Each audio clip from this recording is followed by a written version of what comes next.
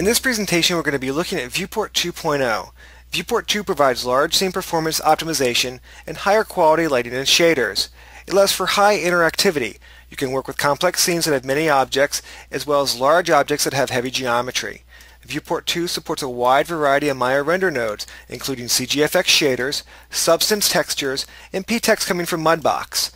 In this example, you can see our character is a relatively low-res game asset coming from Eidos Montreal and all of his details provided in normal maps that Viewport 2 does a beautiful job of rendering. If we play back our animation, you can see that we have very high quality filtered depth map shadows. Viewport 2 also supports cubic and spherical reflection maps, and we can see an example of that on our hovercraft. Let's go ahead and bring up the attribute editor and look at a few of the other advantages that Viewport 2.0 gives us. The first thing we want to talk about is performance. When working with Viewport 2.0, we have the ability to vertex cache our animation. Once you do this, your skinned characters will play back substantially faster. We also have the ability to thread dependency graph evaluate. What this means is if you have multiple characters in your scene, you can turn this on and have each character evaluated on an individual thread. Let's look at a few of the examples of filters that we can apply to make our scene look a little bit better in Viewport 2. You'll notice that I already have one of them turned on, which is Gamma Correct. If we turn that guy off, you can see that my scene's really a, a bit dark and it really needs some help from that gamma. As soon as I turn that on, I get that pop back. Notice that we have a lot of aliasing that's happening around the edges of all of our geometry. We can address this very quickly by just simply turning on multi-sample anti-aliasing. And as soon as I do that, you can see my screen looks considerably better. I'm going to go and frame this shot over a little bit further to the right and play it back one more time. You'll see we have that ship basically blasting off screen. And what I want to do is turn on motion blur so that as it flies past the camera, it looks streaked and blurred as, as you would expect. So we'll just simply turn on motion blur. I'm going to crank the sample count up high on that, and we'll play back the animation one more time, and you can see that we get that cool motion blur. Notice that as I move my camera around, the objects in the foreground blur more than the objects in the background, as you would expect.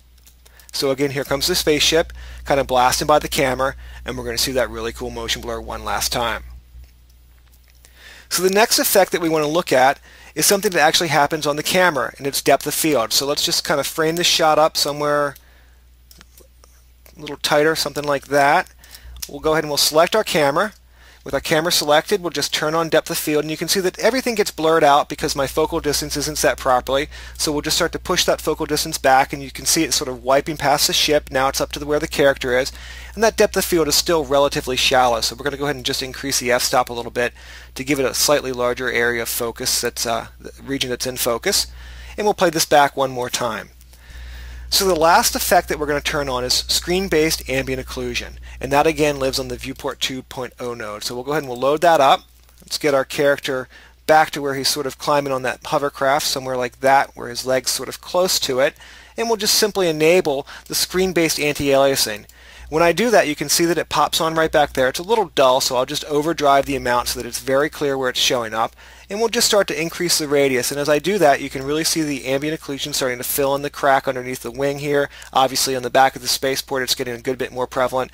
And sort of up into this area, it's also starting to show up even down underneath the wing here. So if we turn that off, you can see it's gone. And as soon as we re-enable it, we get that little extra grounding that happens from that ambient occlusion pass. So the last feature that we want to talk about is actually the ability to use Viewport 2.0 as a rendering engine. If we bring up our render settings, you'll see from my drop-down, I can now select Maya Hardware 2, which for all practical purposes is Viewport 2.0.